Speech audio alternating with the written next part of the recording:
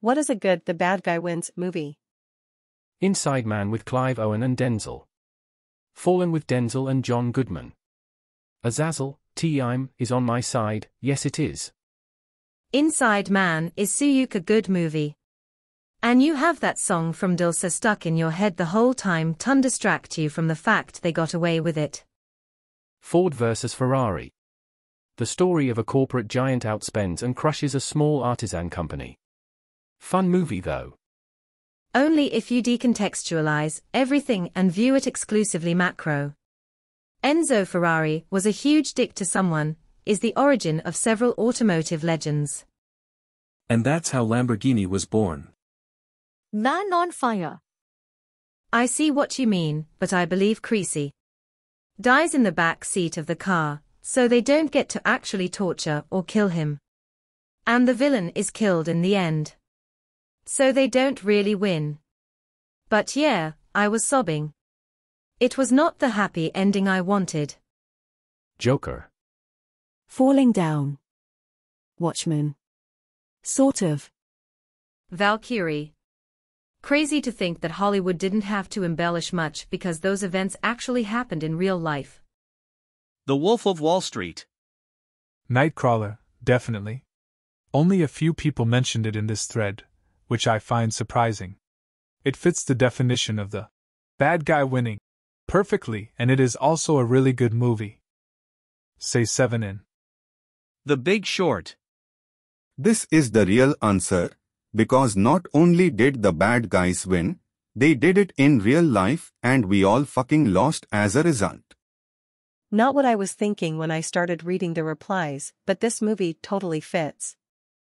The Dark Knight, 2008. The Rock. America wins despite being the true villain. John Wick? I mean, he's literally a retired assassin that goes on a rampage and kills another 60,000 people in all three movies. Four movies.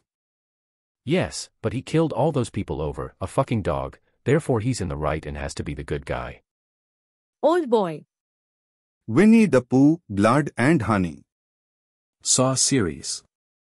Prima. Spoilers below. And likely above. Midsommar if you treat the cult as the bad guy. The cult is definitely the villain of the story. Unforgiven. Eastwood's character is the bad guy. He killed women and children and everything that walked or crawled.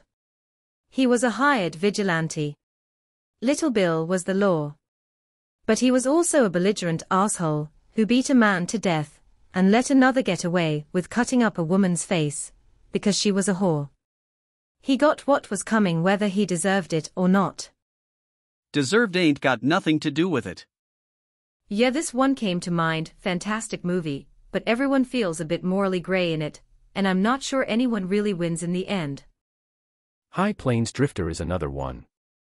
I mean, it's revealed in the end that Eastwood is some supernatural embodiment of vengeance, but the movie opens with him raping a woman and he's still portrayed as a hero for the bulk of the film. Karate Kid. Yeah, but it is not presented that way when you watch it. Because it's a BS argument. Daniel isn't the bad guy, but nor is Johnny 100% the bad guy. Danny is a clueless teen who walked into a local dynamic ruled by karate enthusiasts being mentored by a psychopath, and unwittingly made it worse by flirting with the ringleader's old girlfriend. He didn't start the fight with Johnny. Johnny pushed him down and Danny, reasonably, thought the fight was on. Also, the kick to the face at the end was tournament legal. Danny even got in a prior hit to Johnny's nose, and the refs only called a timeout. Johnny was misled by his teacher into believing the world exists only in black and white. They're only friends or enemies. No in between, no compromise. And even then, he wasn't a complete asshole. He tried to talk with Allie and mend things civilly at the country club. And at the end, he even congratulated Danny on winning the tournament. Watch Cobra Kai, which is from Johnny's perspective. Black Panther, but in a weird way. The good guy wins, but the bad guy was kinda right, and his objective continues on as the good guy sees his point. Killmonger wasn't right. He was delusional. Had he successfully sent the weapons out to various militant groups around the world, what would have been the result? Most likely, a bunch of militants getting blasted to kingdom come by government armies. Everyone now either has vibranium technology or knows about it, and Wakanda becomes a pariah state. Cue the next movie where the Avengers have to go into Wakanda to take out Killmonger, and afterward Tony Stark has the exclusive rights to the vibranium tech. In the Mouth of Madness. The Last Samurai for sure. Fallen. One of my favorite movies of all time, Megamind. Watchmen is a good superhero one.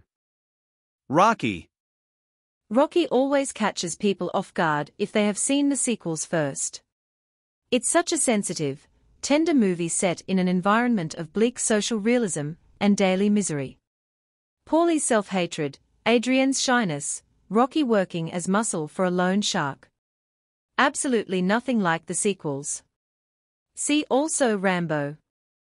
Rocky always catches people off guard if they have seen the sequels first. I love that. People are asterisk shocked asterisk by how grimy the whole film is. By how weird and uncomfortable Rocky and Adrian's relationship is. By how unpleasant the film is willing to be. I really adore the scene where Mickey and Rocky are arguing in his apartment. It's such a tender and painful scene between two characters who've both been hurt. Mickey sees himself and his past failures in Rocky, and doesn't want to train him because he just can't stand to have it happen to someone else. Rocky sees his only chance at being somebody in Mickey training him, and feels like he's not being given a shot. Both of them are right, and both of them hurt one another because they can't stand to be in pain again. And because it's a sports movie, the bad guy is not a bad guy, just an opponent which opens the door for a really beautiful friendship between the two to form in the following movies. Great series, every single one is worth watching. People who haven't seen assume they are just about guys punching each other. Not at all, there is relatively little of guys punching each other, actually. And because it's a sports movie, the bad guy is not a bad guy, just an opponent. And then Rocky 3 to We happened, each with a clear bad guy as the opponent. Ex Machina. While the men are framed as the point of view, the AI are the protagonists. And they're just fighting for survival. Caleb only tries to save Ava because he's attracted to her. The antagonist definitely doesn't win. Revenge of the Sith. One flew over the cuckoo's nest, Silence of the Lambs, Hannibal, Primal Fear, Memento, Fight Club, Matchstick Men, Shutter Island, The Dark Knight, Unbreakable, Split and Glass. Unbreakable. Dude gets arrested in the end, doesn't he? But Primal Fear for sure. I've seen Memento 5X and still can't remember it ironically. Chinatown, The Empire Strikes Back, Infinity War. Don't know if anyone really wins on this one, but I'd say that in All Quiet in the Western Front, the good guy doesn't win at all. Yeah, the point of the movie is that in war, nobody wins. The Bad Guys. Passengers, 2016. Chris Pratt plays what amounts to someone who gives his victim a severe case of Stockholm Syndrome and then lives happily ever after. Still enjoyed the movie, though. The Great Silence.